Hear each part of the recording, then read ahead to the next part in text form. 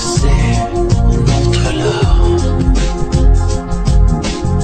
Tu fouilles, tu fouilles, essaye de revivre les souvenirs de ton passé.